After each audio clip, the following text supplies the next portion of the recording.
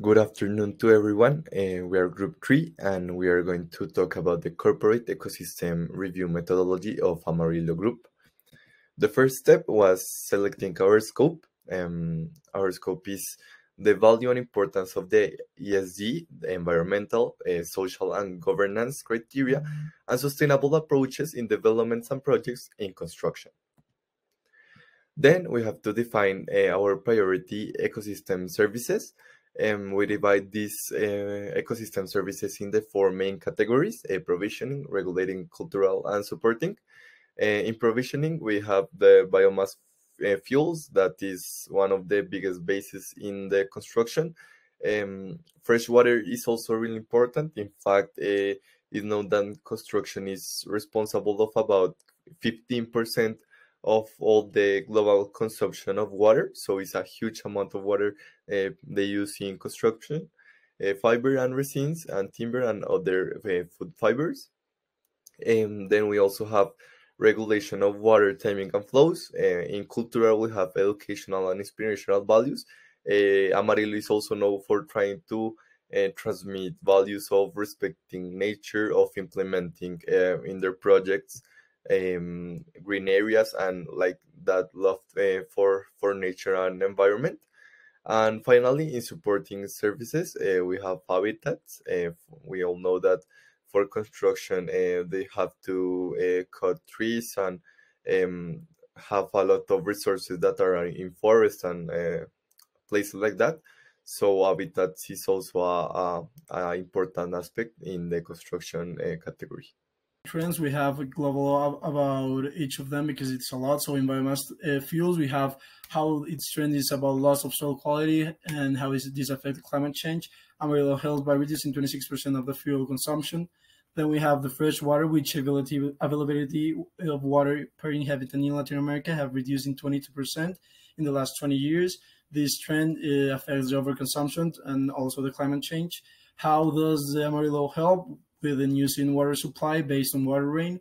Then we have fiber and resins, which it's a problem because of the overconsumption of other similar materials, and how Amarilo helps by the alternative of eco-friendly materials that help uh, the constructions to be more sustainable.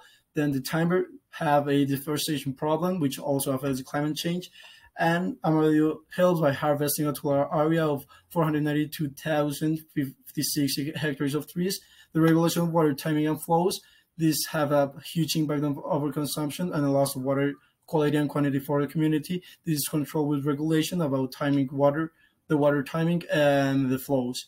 The education and inspirational values, there's an equality of lack of government in, uh, intervention, and the education is held back because of some problems such as infrastructure. Finally, habitats, there's a change in land use, uh, deforestation and habitat destruction, Amarilo have different projects such as Edificio Corporativo de Amarilo, which promotes sustainability construction. And this one helps uh, mainly because it's help energy and water savings in 30% for energy and 20% for water. In risk and opportunities, we are just going to focus on two, that is biomass fuels. Uh, the type of risk is operational. The potential is to mainly have a more sustainable uh, construction, and the potential risk is to it's due to deforestation uh, because it requires more space. The fresh water, it uses innovative products in construction that could use less water and do, do help uh, landing, but the potential risk is irrigation difficulties.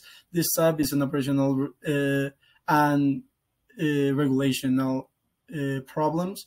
So basically, there's always these two sides, but we consider them all and now we're going to feel about the strategies for change. In these sessions, we are going to talk about developing strategies for change.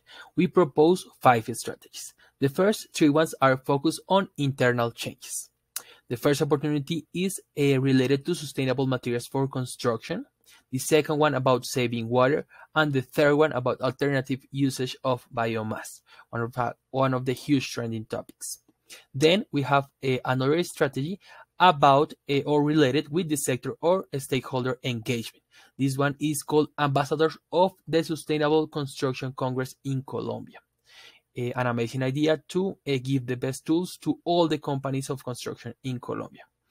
And the last strategy is about engage, engage policymakers for strengthening eco-urbanism and sustainable construction policies in Colombia. Then uh, this is our last strategy. Uh, here on your screen, you can uh, see all the levels for the three sections, possible return on investment, other benefits, and ESA of implementation with their respective timing.